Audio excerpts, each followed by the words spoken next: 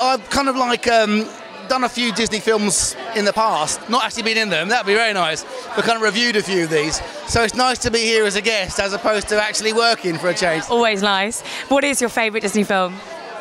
Oh, blimey! There's so many of them. What normal or animation?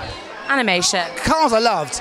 Cars, Cars was great. I, I can't, unless you go back to the old classics, Snow White, Cinderella. I usually play buttons in Cinderella at pantomime, so I know there's no buttons in the in the film, but Cinderella's got to be a classic. If you like cars, hopefully planes is going to be really up your street. Yeah. Um, I can probably. I'm more in the league of affording a car than I am of a plane yet. So come on, Disney, give me some more films to do.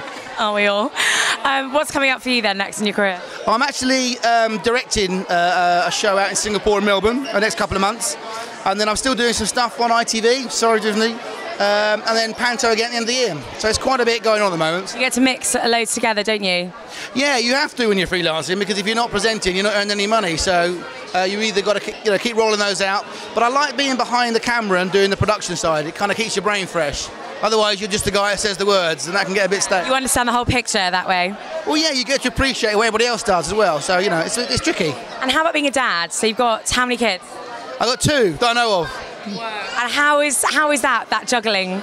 It's great. Uh, it's one of those things where you always think when you, you know, it's like in TV, you go, never got any time, never got any time.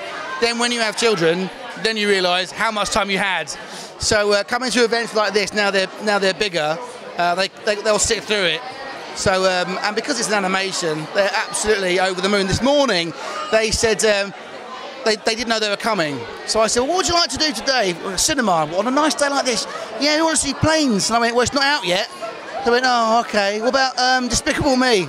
So I saw we'll see. Of course, we got here and they went, planes! Sound like the best dad in the world. This weekend, yeah. Will you enjoy it? Don't get too hot. Hey, now, look at me. Ditto. Well, um, enjoy the film, and we'll catch up later. Chloe, thanks very much. Speak soon. Bye.